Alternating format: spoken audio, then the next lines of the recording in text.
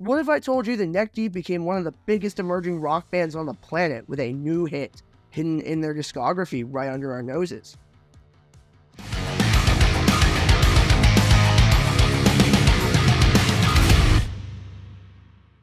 What's going on, everybody? Welcome to the No Skip Show.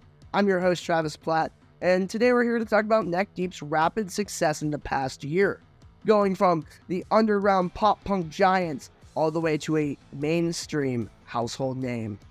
Make sure to like this video, subscribe, comment below your thoughts on Neck Deep, and also smack that bell to keep the record spinning, and also check out all of my links, all of my social medias, they're in the links in the description below. without further ado, let's jump into this video. When you think of Neck Deep's biggest hits, what comes to mind first? You'd probably guess December. I'm the last thing you'd remember. It's been a long, lonely December. Or a part of me, right? I like her cause she's smart, strong and independent. She puts me in my place. But what if I told you neither of those are it? Instead, it's the heart wrenching ballad, Wish You Were Here. It should have been me. Either way, I still wish you were here.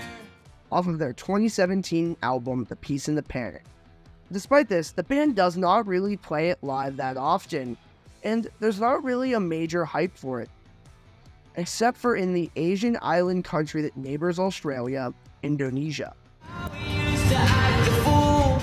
Ambilkan logo air itu bang, sekali Jo. Mau air apa? Tawar berasa? Yang tawar aja. Yang tawar. Oke. Tawar kali? As someone who lives in the United States, normally I would not expect Indonesia to have a large crowd of emo kids.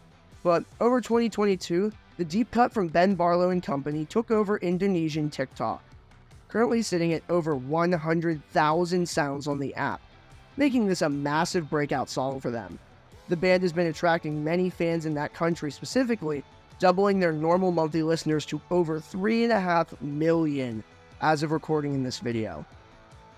Now, many videos show how much this song and this band means to the fans, just as much as how much Neck Deep means to the fans of this channel.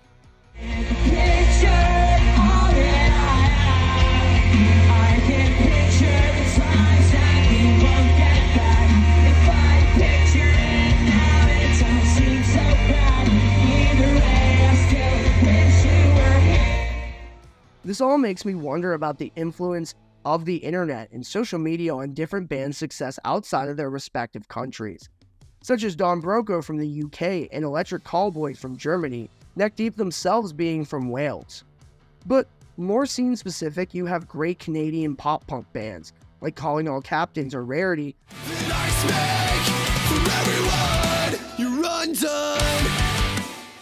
They can be doing something similar to Neck Deep, like blowing up on a floor in TikTok.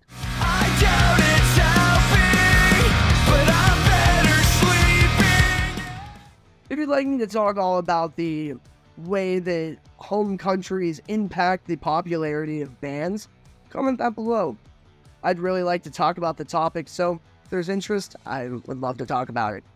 I'll be the first to admit, I don't know a whole lot about Indonesia or Eastern countries in general. I've never traveled outside of the United States. I'm very connected to the United States as much as I would love to travel internationally. It just hasn't happened yet. And I know a lot of bands are starting to really tour Japan heavy. I see Tiny Moving Parts doing it, Anxious are recently touring Japan, One Step Closer, many pop punk and hardcore bands. So maybe there is more of a scene that I just don't know about.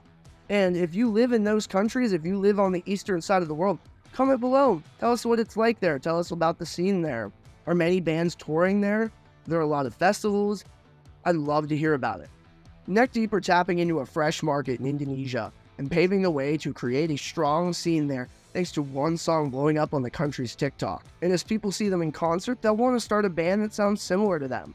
With enough bands creates a new scene in a different country. And that's how you get new perspectives and experiences from what we're used to and very unique and fresh sounds to compare. Go ahead and comment your favorite bands from Indonesia.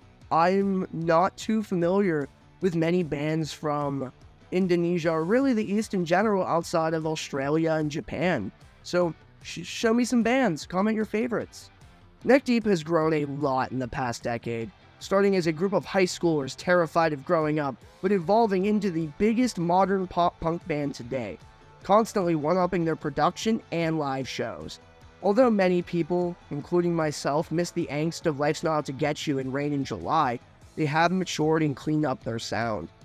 Thanks to that, they are able to get bigger and bigger, even in places you wouldn't originally think pop punk is all that relevant. Comment some of your favorite uh, Southeast Asian bands and Asian bands in general. Let's open the discussion and bring these bands to the West, as well as comment some of your favorite bands that you would love to see to come to Eastern Asia.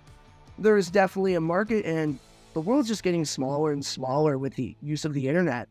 And that's the main reason I wanted to talk about this video and the contents of it, and really how, as a Westerner, we don't really see the culture of other countries and how the music that we love impacts them in a much different way.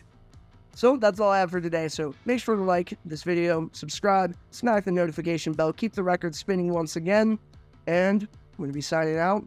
Um, see you guys next time, and happy listening.